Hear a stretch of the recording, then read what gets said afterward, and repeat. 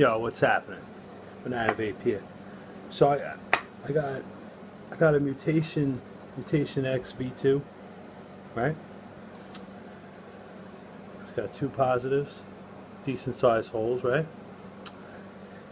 I just felt like doing a 20 gauge build on it. So I got my, my 20 gauge Kanthal.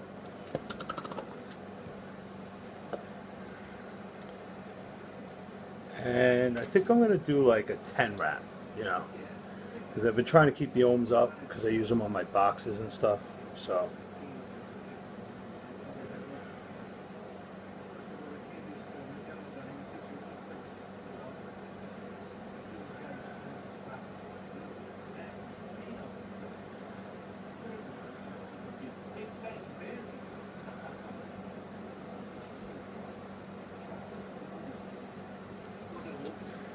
now I wrap on an 089 drill, which is 2.25 millimeter.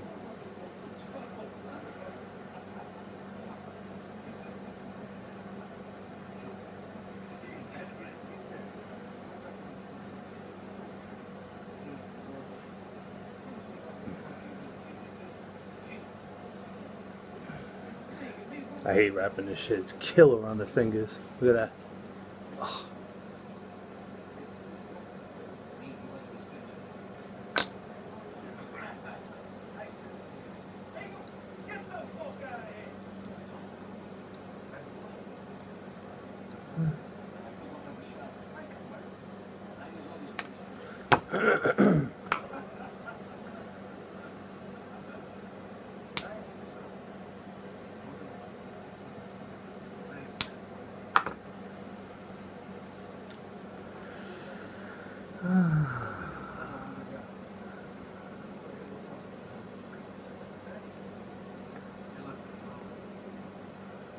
You see, I like to go to the second. See what I'm doing? Go to the second positive. Let's see now. If you don't put them both in at the same time, you end up with the coil in the way of the wire coming from the other side. So I like to do them at the same time so I could position I could position this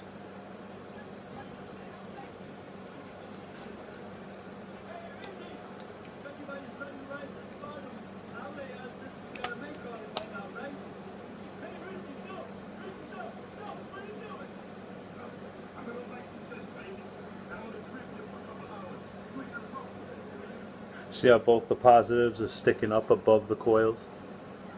So you don't end up with the wire sitting below the coil. Then you can still cut it off. It's a total pain in the ass when it's under the, the coil and you can't cut it off.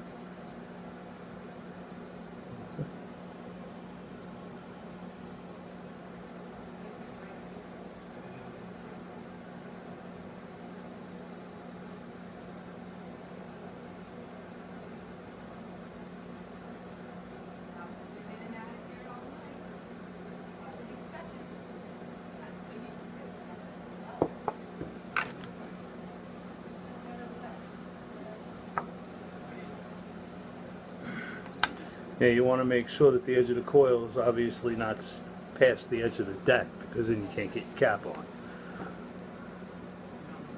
Common sense, but you know.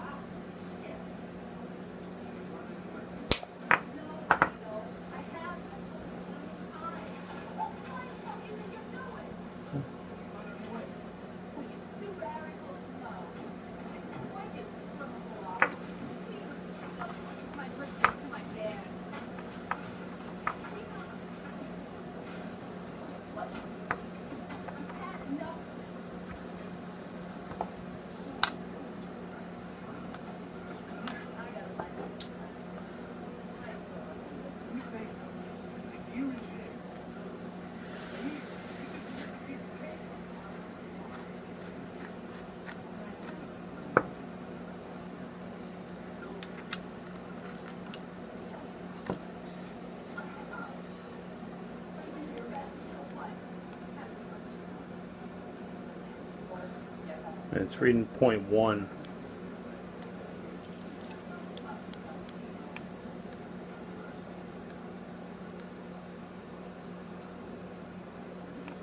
Yeah, but I think it's lower than that.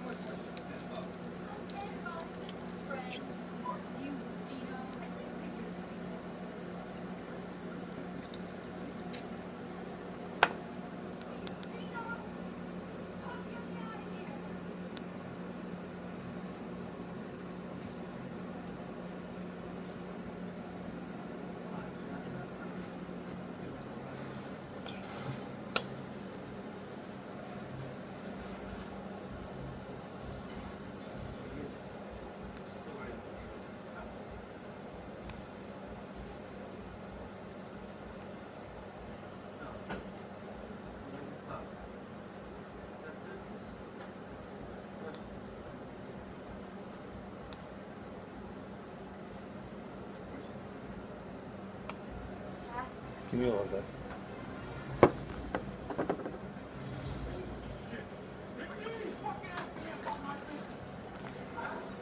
Okay.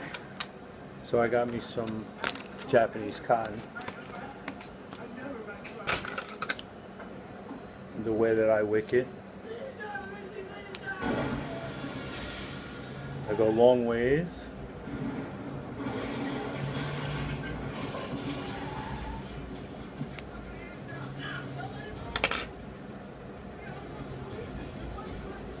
Split it right down the center.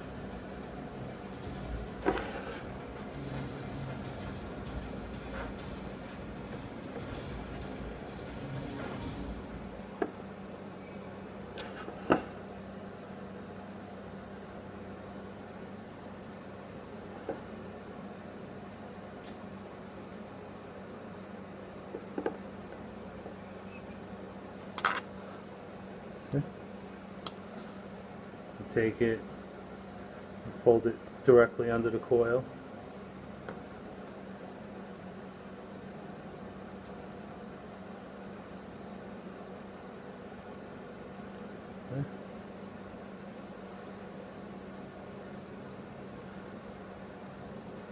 Put each flap directly under the coil.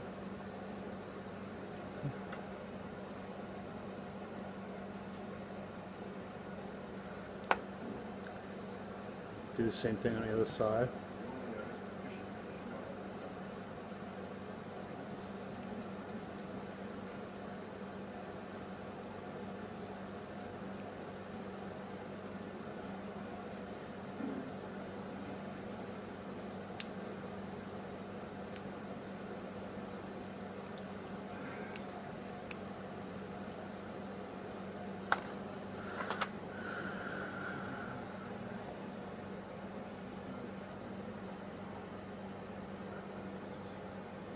Not bad.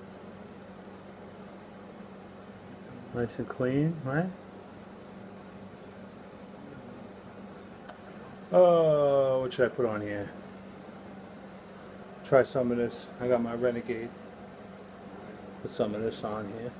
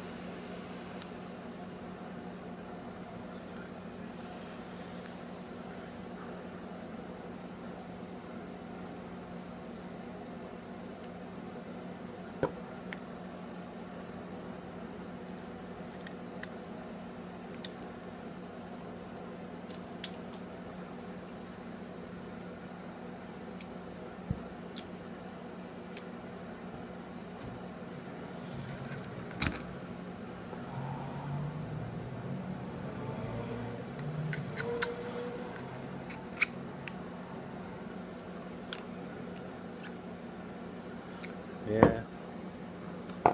You know what I could do? See, with the 20 gauge, gets really close to the edges, but these flaps get caught on it. Now, if you really wanted to, you could take something like this. If if you have one that fits, of course I don't.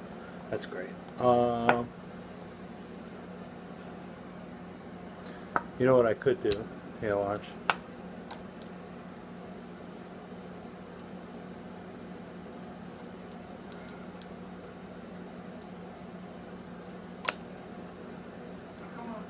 I raise them up a little bit.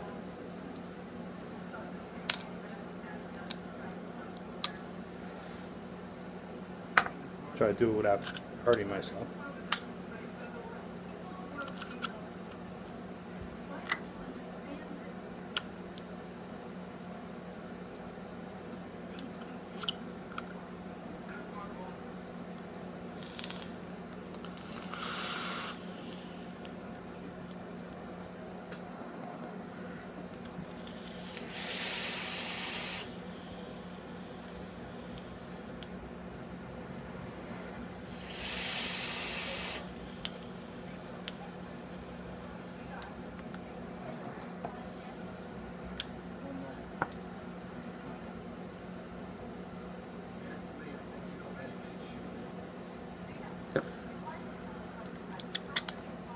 See, the, I guess the most important thing about this, once you're all done with the build itself, is making sure that the coils aren't too close to the edges because you know you got the adjustable airflow, and it's a separate piece than what goes over the top of the cap. You know, the, the around the perimeter of the, the the top. You know, the top cap goes around it, and then the inside is inside between the coil and the top cap. So you got to be careful with that.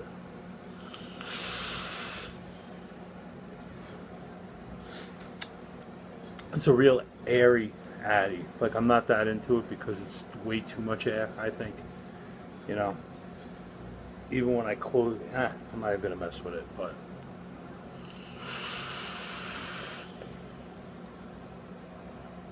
I mean, fucking 20 gauge is pretty pretty fantastic. But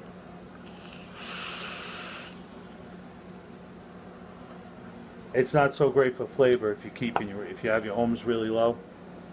If it's too low, it just burns real hot and there's not too much vapor production.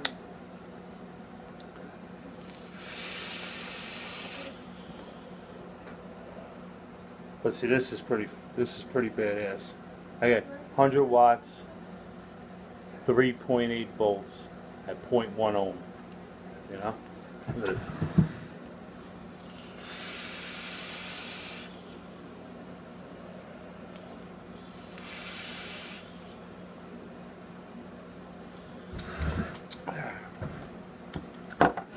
Not bad.